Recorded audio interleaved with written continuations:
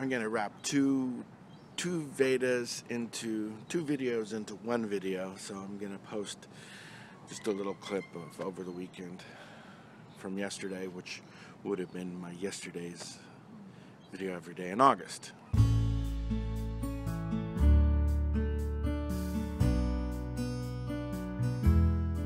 So today, today we did a lot of chores, or some chores.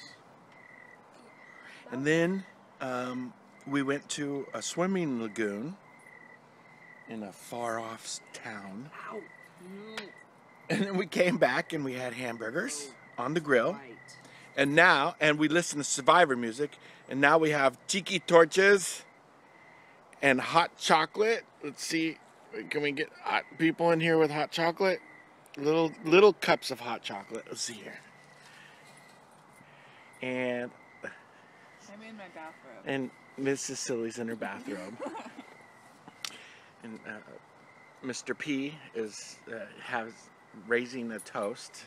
And Mr. T has his cocoa. And we have our citronella candles going because the mosquitoes are out. And Mr. F has his cocoa. And then Jack is having a field day. He wants to play ball. Okay, Jack, ready? Go get it. And that's how we're spending our day.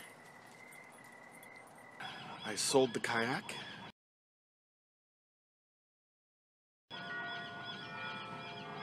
It was a little bit, um, I don't know, it's a little bit liberating to, to, to let it go. It, it feels, I feel, I feel relief in, in not having the kayak anymore. Uh, so I certainly will have another kayak someday in my life. Um, interestingly enough, my cousins is going to give me her canoe that she's had for for uh, decades. It's been to the Philippines. It's been uh, to Colorado. Uh, she said she's used it to hide from hailstorms and uh, moonlight canoes, canoe trips to watch meteor showers, all kinds of uh, lots of history to this canoe. So that'll be fun to have a canoe. It'll be something that I can do more with uh, the boys and myself, not just a solitary recreation.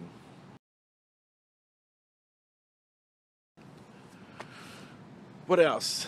Um, Mrs. Silly and I signed up for solar. It's kind of a lease.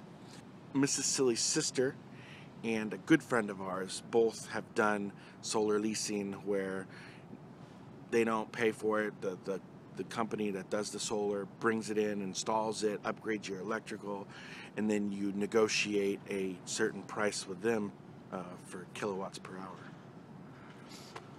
Looks like I should have shaved better. Anyway, um, with a family of five, we're in. Uh, I'm saying a lot of us today. It's disappointing. Family of five, we are in a high tier for PG&E for using electricity. The goal with solar is to bring us to a low tier, not to use, not to become self-sufficient with the solar, but the more the solar panels produce, we just pay for the power that's produced. The less we pay PG&E, but the more we pay the solar company. But the price we pay the solar company is less than what we pay PG&E. It's kind of high tide today. I guess this is a typical San Francisco summer morning. Semi-summer, foggy. It was a busy weekend. My father's memorial service is next weekend.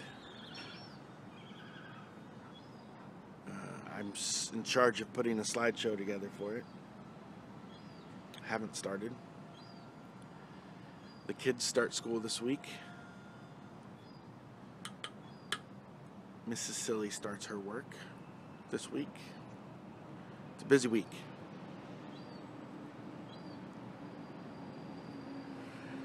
Um, I've been enjoying watching some videos. I watched Zen Archer's response to the video I made talking about my paper out, and I thoroughly enjoyed Zen's video.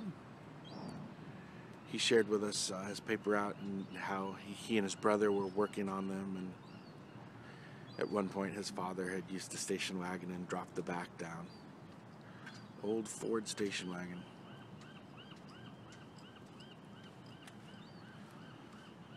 Similarities there we had a station wagon. I guess that's the minivan. The station wagons are the minivan of the era, right? Loved our station wagon. Little rumble seat in the back. That was a that was the car six seat. Sitting backwards looking out the window that rolled down. Ken River Vlogger's video about motorcycles and his father and his first motorcycle and his cars And the similarity there is my father bought my first scooter for me. Purchased it and I paid him back.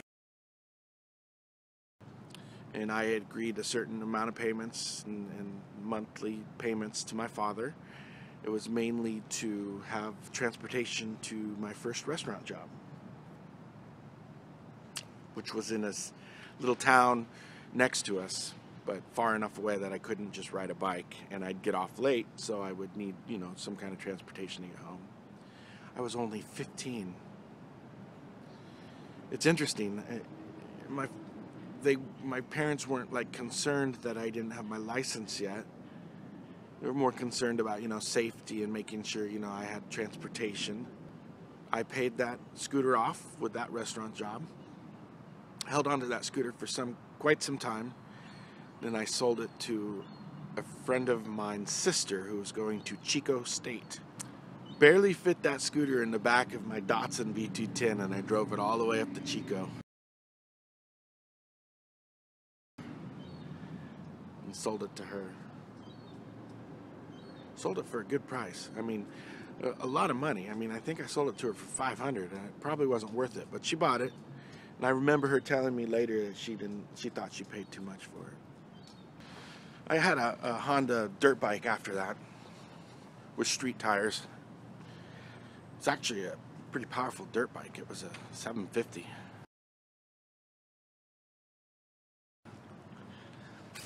At one point the clutch at one point the clutch had broke and to get home I did the the shifting with RPM where you rev it and then you can feel the when you can shift, you can kind of feel when you can shift it in. And my third motorcycle, Mrs. Silly bought me in Santa Barbara for my birthday. It was a 19, I want to say a 1979 Kawasaki KZ650. That was a good bike. And like Ken mentioned, he used his motorcycle for going back to work and stuff. That's pretty much what I did with mine in Santa Barbara. There were some occasional rides up in the San Ynez Valley. And one time I did ride from Santa Barbara up to the Bay Area here on it. And it was a miserable journey. No idea what I was doing. I woke up early had no gloves. Went up over to over um, in the the mountains there in Santa Barbara, down in the San Ynez Valley, and just was freezing my hands off. Stopped in Santa Maria at a gas station. Thankfully, they had gloves at a gas station. They weren't motorcycle gloves; they were just gloves, and I bought those. But you know, holding holding on to the handlebars and just rattling for six hours, it just, whew.